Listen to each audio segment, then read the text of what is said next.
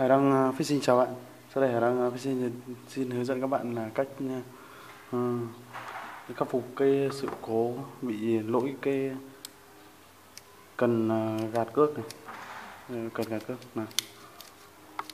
Ờ, gạt nó không hồi lại này. Nó không không, hồi lại như này. Ờ. Rất đơn giản các bạn.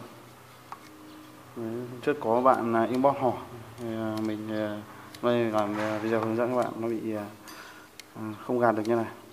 Nó không hồi lại như này. Thì đây là trước tiên thì bạn tháo cái ờ,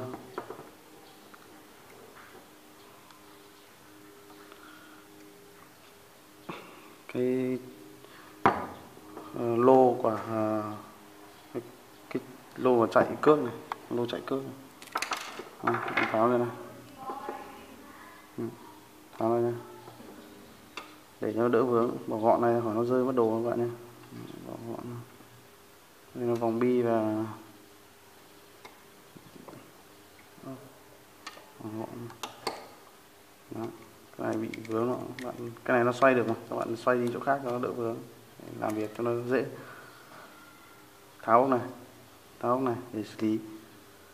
Thì, uh, trước tiên uh, thì ờ, các bạn tháo hết cả hai cái này để kiểm tra xem nó lỗi ở đâu. Thường thường nó chắc nó trượt ở trên này thôi nó có một cái lỗ trượt ở trên này thôi. Thì ờ, các bạn khắc phục một cái trượt là trên này.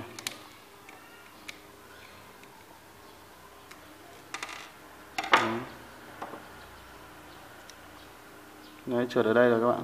Đấy, cái này nó ra hẳn ngoài nó phải vào trong cơ đấy cách khắc phục một là cái trượt ở đây, ở đây cái này thì nó đang trượt này nó đã bị mất cái lỗ này các bạn nhé đấy, các bạn gạt đi gạt lại nó bị mất cái lỗ này đấy. gạt đi gạt lại nhiều nó sẽ bị mất cái bịt mất cái lỗ nó mòn hết cái lỗ này đi. các bạn vệ sinh đi cái xong đấy nó thành ra cái lỗ như cũ của nó để rét cái đầu này vào đấy. Bạn nhìn nhá đấy, cái đầu này rét cái đầu này vào thì nó sẽ đàn hồi lại như bình thường. Đấy một cách một là như vậy. Bây giờ bạn thử ướm nếu mà được nó sẽ có hai trường hợp xảy ra. Được là được luôn. Đây các bạn thử luôn ở đây này. Đấy, không phải cần đâu thử vào. Xem lò xo này còn đàn hồi được không? Đấy. Thử. Nếu mà lò xo này đàn hồi được. Đấy, còn đàn hồi được như này thì các bạn lắp vào chắc chắn là ok luôn. Còn ví dụ như trường hợp nó như này. Tháo này ra cho các bạn xem cụ thể luôn trong này. Đàn hồi được cái này là đa số là ở cái lò xo này. Tháo tiếp ra. Cứ tháo là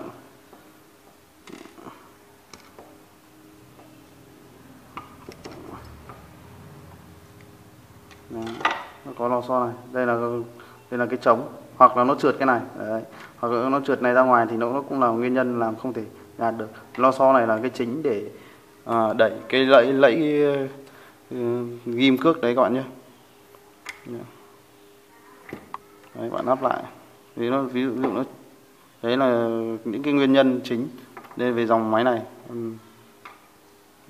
Nó nhiều dòng nó cũng khác nhau nhưng mà đa số nó nguyên lý thiết kế nó nguyên lý hoạt động thì nó giống nhau thôi các bạn. Nó đều phải có một cái hãm ở dưới này để chống trượt đấy, hãm để tháo ra tháo vào lắp ra lắp vào. Đấy thì bạn nếu mà nó trượt ra như này thì thì là mình cũng phải à, lắp lại thôi đặt lại thôi. Đặt lại đây và đặt, đặt bạn giữ. Đấy và không không bị trượt nữa. Thì ốp vào. Ốp nào?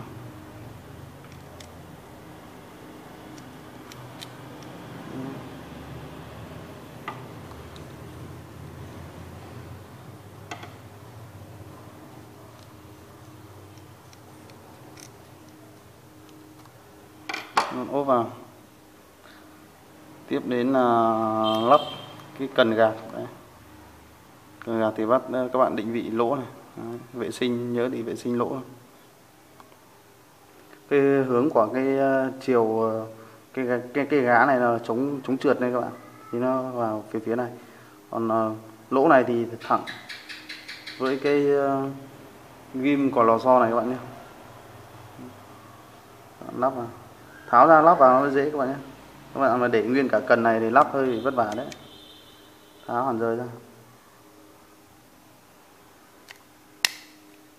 Đó, thử luôn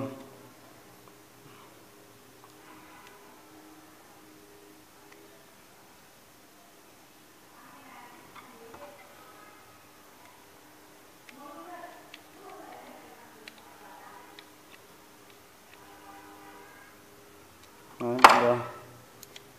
Đấy, gãy được bình thường như bình thường ngay các bạn. Đấy, kêu tách tách nhá. Đấy, rồi bạn lắp cái này vào. Đấy.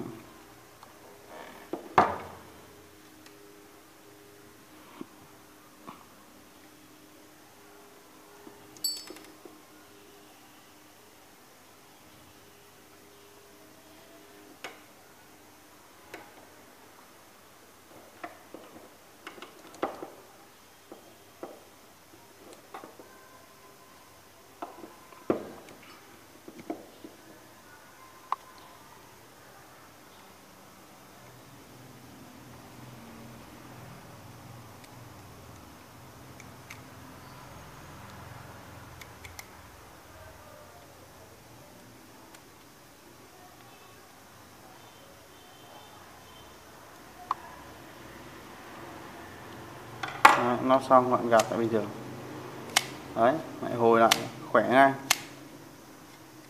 Đó.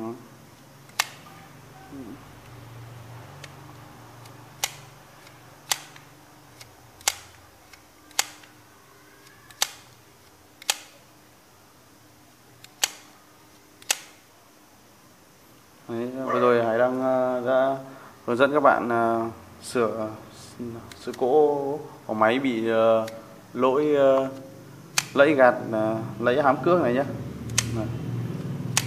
đơn giản vậy thôi các bạn.